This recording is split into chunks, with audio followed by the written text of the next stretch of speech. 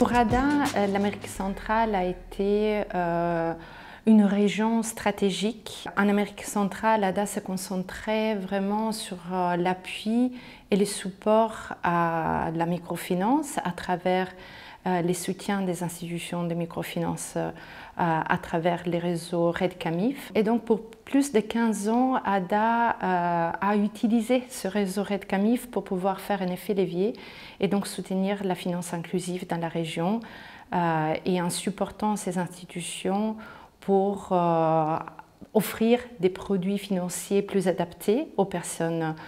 vulnérables dans la région euh, ou renforcer leur gouvernance ou encore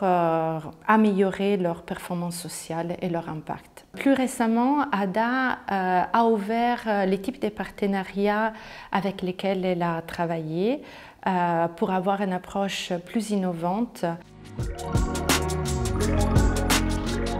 c'est donc l'appui aux jeunes entrepreneurs. Euh, Kiada a commencé à euh, travailler dans la région euh, Amérique centrale et en particulier au Nicaragua déjà en 2018-2019 avec euh, justement l'appui à Impact Hub Managua. Une organisation euh, qu'on a identifiée parce qu'elle était euh, celle qui commençait la promotion euh, des jeunes entrepreneurs dans un contexte national du Nicaragua très compliqué, très difficile. Le partenaire Impact Hub